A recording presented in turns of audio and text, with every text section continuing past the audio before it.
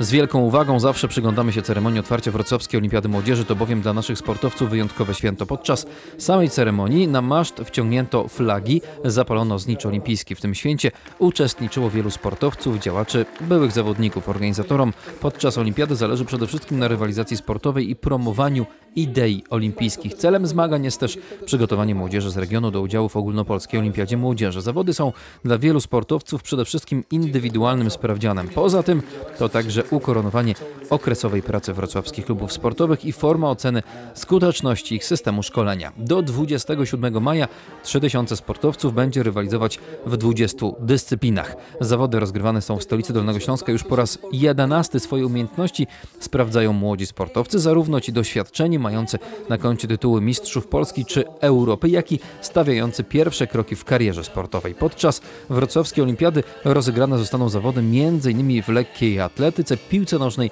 piłce ręcznej, judo, szachach czy kolarstwie. Dokładny terminarz znajduje się w regulaminie imprezy na stronie Młodzieżowego Centrum Sportu. Na bieżąco są również umieszczane wyniki rywalizacji.